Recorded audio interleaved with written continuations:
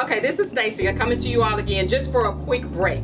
I want to share a little bit about being self-employed and following your passion because a couple of people have asked me about that. How did you uh, start all of this? I've been in private practice for almost 18 years. My husband and I decided that we would do it um, after we started raising kids and it got to seem to be too much for me to go out of the house, come back in. So we launched it about 18 years ago. I tell everyone it has not been an easy path.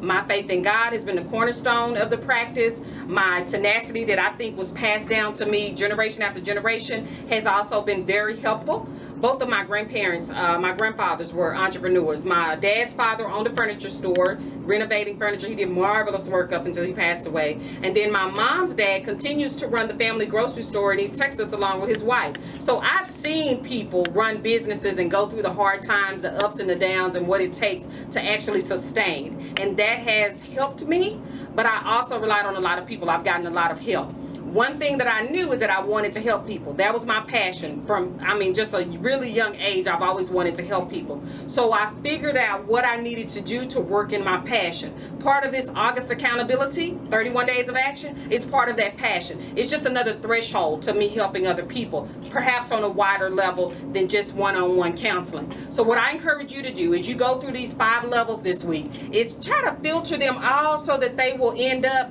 with you looking at what your passion is and what you need to do. You may not be able to work full time in your passion, but I do want you to look at if it wasn't about money, if it wasn't about location, wasn't about time, what would you do if you could do it?